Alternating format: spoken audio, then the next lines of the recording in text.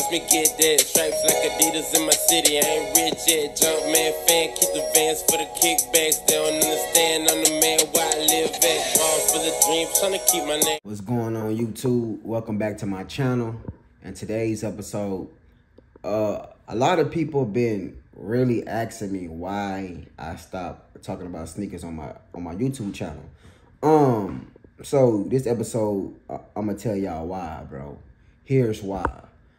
Um, I feel like God don't want me to like God really showing me my path. Uh, sneakers is a, like sneakers will always be my first love, always be a, a key part to my life, a key part uh, of of Jaylin Ray Poulard. You know, sneakers. I was just a kid, bro, who grew up into a man who who still loves sneakers. Sneakers kept me away from a lot of a lot of bad things. Um, sneakers always will will always bring me uh I'm gonna say happiness, peaceful.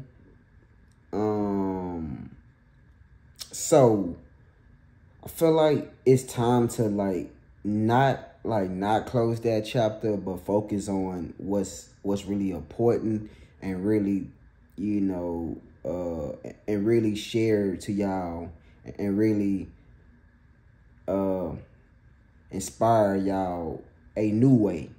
So this is my new way to uh inspire you guys because i feel like that's my purpose. God god i feel like god really you know put me on this earth to aspire the whole world my way. Meaning my way, meaning like sneakers, sports, you know, talking the truth. To, you know, if we talking about my life, talking about this and that.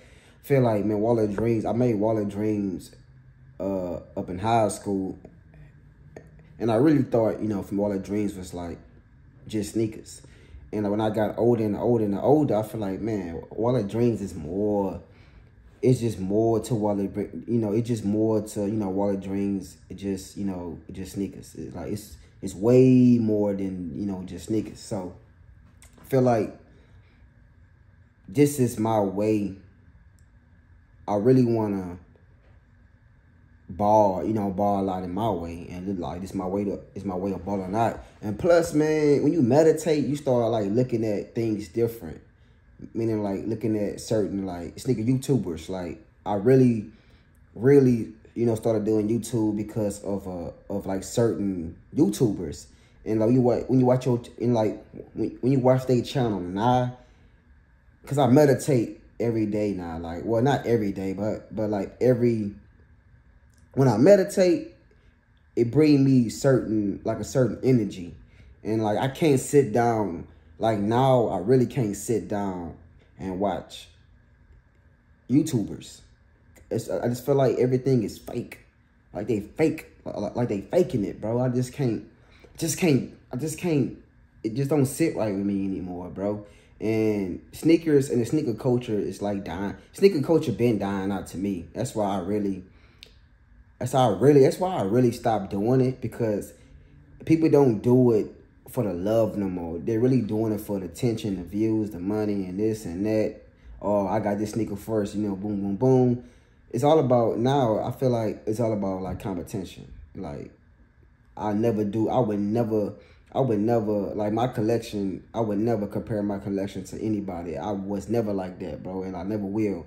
And I feel like everybody, everybody, you know, collection.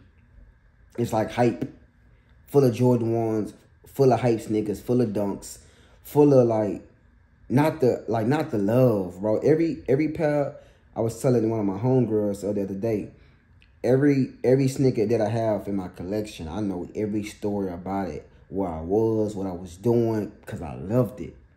I don't buy sneakers because he got it, she got it, he got it. No, I buy it because I really loved it.